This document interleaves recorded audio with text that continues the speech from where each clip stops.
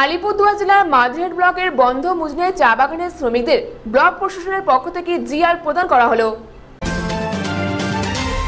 আলিপুরদুয়ার জেলার মাদারিহাট ব্লকের বন্ধ মুজনায় চা বাগানের শ্রমিকদের ব্লক প্রশাসনের পক্ষ থেকে জিআর প্রদান করা হলো। এদের মাসে একশো কুড়ি টাকা করে তিন মাসে জিআর, একত্রে তিনশো ষাট টাকা করে দেওয়া হয় বলে জানান মাদারিহাট গ্রাম পঞ্চায়েতের প্রধান মামনি বসুমাতা শৈব।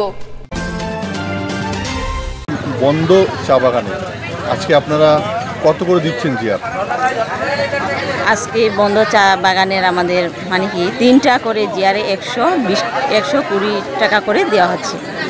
তিনশো টাকা তিনশো ষাট টাকা করে। কতজনকে দিচ্ছেন জিয়ার একশো আটশো তিনজন। হ্যাঁ। এটা কি প্রথম না এর আগেও দিয়েছেন আপনারা? এটাই প্রথম। এই জিয়ারটা কি ওয়েস্ট বেঙ্গল গভর্নমেন্ট থেকে দিচ্ছে? হ্যাঁ ওয়েস্ট বেঙ্গল গভর্নমেন্ট থেকে মাননীয় মুখ্যমন্ত্রীর প্রকল্প এটা? হ্যাঁ।